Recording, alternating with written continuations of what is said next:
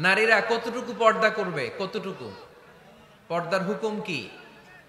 সেখানে আমি বলেছি পর্দা করা ফরজ। এই পর্দা আপনার অধি- অধিকার। এটা আপনার আভিজাত্যের প্রতীক, আপনার রুচির প্রতীক। এটা বলে কতটুকু পর্দা, সেক্ষেত্রে আমি দুইটা মত উল্লেখ করেছিলাম।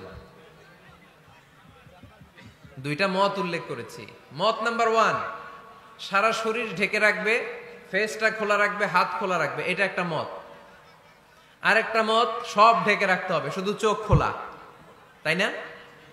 দুইটা মত উল্লেখ করে আমি বলেছিলাম যে এটা হচ্ছে রুকসাত আর এটা হচ্ছে আজিমাত। আমি এও বলেছি যে এর চেয়ে শ্রেষ্ঠ পর্দার হতে পারে না, শুধু চোখ খোলা, সব ঢেকে রাখতে হবে। এটা শ্রেষ্ঠ পর্দা, এর চেয়ে ভালো পর্দার হতে পারে না। আমি নিজেও সাজেস্ট করি এটা, যে শুধু চোখ খোলা থাকবে। আবার ওই প্রশ্নের উত্তরে এও বলেছি, চেহারা হচ্ছে সৌন্দর্যের রাজধানী। চেহারাই যদি দেখা হয়ে যায়, তো সব দেখা হয়ে যায়। এজন্য এটা আমি সাজেস্ট করেছি। তারপরে এরা আমার ধাক্কাইতে ধাক্কাইতে ওই মতের দিকে নিতে চায়। নাই? তো এই যে তিনবার যে আমি এই কথা বললাম, এগুলো শোনবার সময় কি কানে তুলা দিয়ে রাখছিলেন? হ্যাঁ? তখন কি শোনেন না এগুলো? মত দুইটা বললাম কেন আমি? হুজুর, দুইটা কেন বলবেন? অন্য মতের প্রতি আপনার এত শ্রদ্ধা কেন? আমগত নাই। এই হয়েছে সমস্যা। ক্লিয়ার কাট কথা। পর্দার ক্ষেত্রে দুইটা মতের উল্লেখ করেছি প্রিয় ভাইয়েরা। বলেছি এক মত বলেছে ফেস খোলা, হাত খোলা। আরেক মত বলেছে শুধু চোখ খোলা। এবং আমি বলেছি এইটা শ্রেষ্ঠ পর্দা, এর চেয়ে ভালো পর্দা হয় না। বলছি না আমি? আবার বলছি যে আমি সাজেস্ট করি, এটাই সবচেয়ে ভালো, এটা করবেন। এবং শেষে বলেছি, চেহারা হচ্ছে সৌন্দর্যের রাজধানী। চেহারাই যদি দেখা হয়ে যায়, তো সব দেখা হয়ে যায়। এগুলো কি প্রমাণ করে? আমি এই মতের পক্ষে না এই মতের পক্ষে? বায়ে না ডানে। ডানে। তো আমি এই মত অবলম্বন করি। মানে আপনাদের যেই মত, আমারও এই মত। আমার ধাক্কা মারতেছেন কেন? ধাক্কাইতেছেন কেন আমাকে? ধাক্কাই আমার ওই মতে নিতে চায়। ঠিক না। বাড়াবাড়ি কখনো কল্যাণ বয়ে নিয়ে আসে না। আওয়াজ করবেন না। মনোযোগ দিয়ে শুনেন। এই যে মত, এটা আমার মত না। এটা অনেক স্কলারদের মত। নারীরা শুধু ফেস খোলা রাখবে আর হাতের কবজি পর্যন্ত খোলা রাখবে। এটা আমার মত না। আমি অন্যদের মতকে শুধু ন্যারেট করেছি, বর্ণনা করেছি মাত্র। মেজরিটি স্কলাররা জুমহুরুল ফোকাহা আই রিপিট আমি আবার বলছি মেজরিটি স্কলাররা বলেছেন ফেস এবং হাত খোলা রাখা যাবে। যদিও আমার মত এইটা না। আমার মত হচ্ছে যে শুধু চোখ খোলা রাখবেন।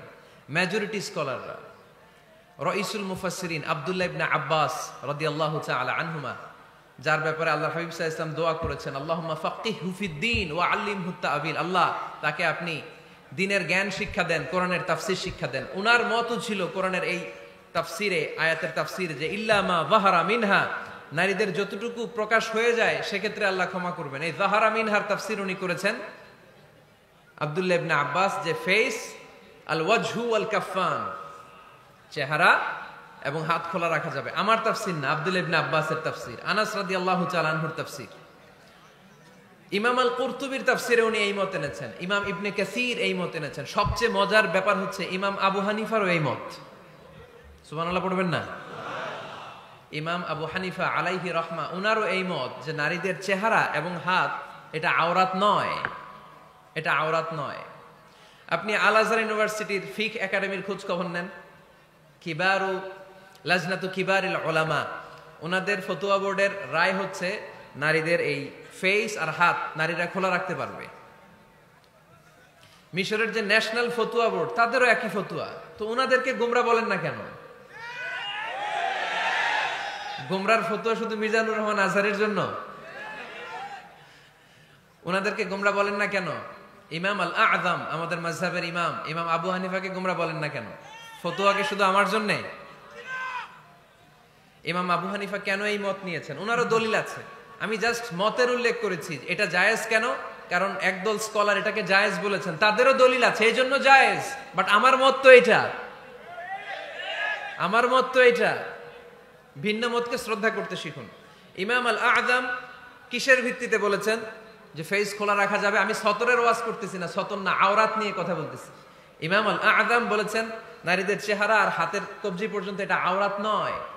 উনি দলিল নিয়েছেন সুনানে আবু দাউদের হাদিস। হঠাৎ একবার আল্লাহ রসুল্লাহ ইসলামের ঘরে আম্মাজান আয়েশার ঘরে আসমা বিনতে আবি বকর রাদি আল্লাহ চালান্না চলে আসেন। আল্লাহ রসুল্লাহ ইসলামের শ্যালিকা, পাতলা কাপড় পরে, যে কাপড়ে হাত দেখা যায়, শরীর দেখা যায়, আল্লাহ রসুল্লাহ ইসলাম চেহারাটা ঘুরিয়ে নিলেন, রেগে গেলেন এবং বললেন, আসমা, তুমি এখন বড় হয়েছ। তুমি এখন বড় হয়েছো, ছোট্টটি নেই। নারীরা যখন সাবালিকা হয়, তখন এতটুকু আর এতটুকু ছাড়া পুরো দেহকে ঢেকে রাখতে হয়। সুবহানাল্লাহ, পড়বেন না? ইমাম আল আদম আবু হানিফা এই হাদিস থেকে দলিল নিয়েছেন। আরও দলিল আছে। সাহি মুসলিম, হাদিসের বর্ণনাকারী জাবির ইবনে আব্দুল্লাহ রাদিয়াল্লাহু তাআলা আনহু, ঈদের দিনে আল্লাহ রাসূল সাল্লাল্লাহু আলাইহি ঈদের সালাদ পড়লেন। আজান একামত ছাড়া। সালাদ পড়ানোর পরে তিনি তাকওয়ার ওয়াজ করলেন। সাহাবীদেরকে নিয়ে তিনি চলে যাচ্ছেন। হঠাৎ নারীদেরকে দেখে নারীরা বললেন, আমাদেরকে ওয়াজ করেন। আল্লাহর হাবিব সাহা ইসলাম নারীদের সামনে ওয়াজ শুরু করে দিলেন। হাদিসের বর্ণনাকারী জাবির ইবনে আব্দুল্লাহ, উনি বললেন, নারীদেরকে নিয়ে যখন আল্লাহ রাসুল সাহা ইসলাম ওয়াজ করতেছিলেন, আল্লাহ রাসুল যে ওয়াজটা সবচেয়ে গুরুত্ব দিলেন আল্লাহ হাবিব সাহা ইসলাম বললেন তাসাদ্দাক না নারীরা তোমরা সৎকা করো, দান খয়রাত করো। কারণ আমি দেখেছি, তোমরাই বেশিরভাগ হবে জাহান্নামের লাকড়ি। তোমরাই বেশিরভাগ জাহান্নামের লাকড়ি হবে। এই কথা শুনে ফাকামাত ইমরাআতুন মিন ওয়াসাতিহিন এক নারী দাঁড়াল। নারীদের মাঝখান থেকে এক নারী দাঁড়িয়ে হাত তুললো। জাবির ইবনে আবদুল্লাহ বলেন, নারীটি যখন দাঁড়াল, আমি দেখলাম সোফা উল খাদ্দাইন, এই নারীর গালের মধ্যে ফুট ফুট কালো দাগ। গালের মধ্যে কি? কালো দাগ। তো ওনার চেহারা যদি খোলা না থাকতো, গালের কালো দাগ দেখা যেত? কথা বলেন না কেন?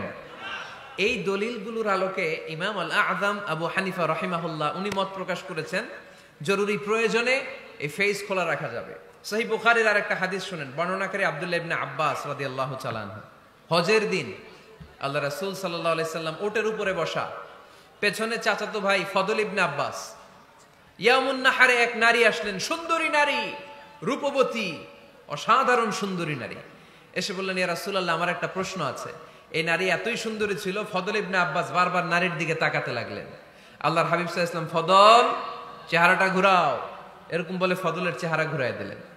ফদল আবার তাকালেন। আল্লাহ হাবিব সাল্লাল্লাহু ইসলাম বললেন, ফদল চেহারাটা ঘুরাও। উনি আবার তাকালেন। আল্লাহ হাবিব সাল্লাল্লাহু আলাইহি বললেন, এই ফদল চেহারাটা ঘুরাও। দেখেন, নারীকে একবার বলতেছেন এই মেয়ে, তুমি সুন্দরী নারী, দেখো না ছেলেরা তোমার দিকে তাকায় আছে, চেহারাটা ঢাকো। বলছেন একবারও? কথা বলেন না কেন? বলেন নাই। বরং ফদল ইবনে আব্বাসকে চেহারা ঘুরাতে বলেছেন। তার মানে সব দায় দায়িত্ব নারীদের উপর বর্তায় না। পুরুষদেরকে নিজের দায়িত্ব নিতে শিখতে বলেছেন বিশ্বনবী সাল্লাহ আলহিহাসাল্লাম আমাদেরও দায়িত্ব আছে না নাই? তো এই হাদিসগুলোর আলোকে ইমাম আল আজম উনি মত পোষণ করেছেন যে ফেস খোলা রাখা যাবে। আমার মত না। তার মানে এটাও একটা মত আছে। উনাদেরও দলিল আছে। আমার মত হচ্ছে যে শুধু চোখ খোলা রাখতে হবে, বাকি সব ঢেকে রাখতে হবে। তারপরেও ওনারা আমাকে এই মতের দিকে নিতে চাচ্ছে। আমি তো আসলে দুইটা মত শুধু প্রকাশ করেছি। এই পরিবর্তিত বিশ্ব ব্যবস্থায় নারীদেরকে অনেক জায়গায় যেতে হয়, চিকিৎসার জন্য বেরোতে হয়, শিক্ষকতা করতে হয়। আপনি শুধু আপনার মাদ্রাসার গণ্ডির ভেতরটারেই গোটা দুনিয়া ভাববেন না।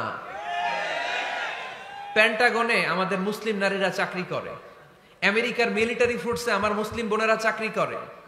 ইংল্যান্ডে, এখানে তো অনেক ইংল্যান্ডের ভাইয়েরা আছে, ওনারা জানবেন, ইংল্যান্ডের পুলিশ সেকশনে আমার মুসলিম বোনেরা চাকরি করে। নানা কারণে ওনাদের পক্ষে ফেস ঢেকে রাখা সম্ভব হয় না। ফলে ওনারা এই মতের আলোকে রুকসাতের উপর আমল করার সুযোগ পায়, ঠিক কিনা? তার মানে এটাও একটা মত আছে। এটাও একটা মত আছে, ওনারা রুকসতের উপর আমল করে। বাট আমার মত হচ্ছে না আজিমতটা উত্তম, এটা শ্রেষ্ঠ পর্দা। কারণ চেহারায় যদি দেখে ফেলে, সবই দেখে ফেলে। তো আমার মত এইটা, তারপরও আমাকে এই মতের প্রবক্তা বানাতে চায়, এরকম আসে না নাই? বাড়াবাড়ি করবেন না। বাড়াবাড়ি কখনো ভালো ফল বয়ে নিয়ে আসেন আওয়াজ করে বলতে হবে, ঠিক কিনা? আল্লাহ আমাদের সবাইকে মধ্যম পন্থা অবলম্বনের তৌফিক দান করো।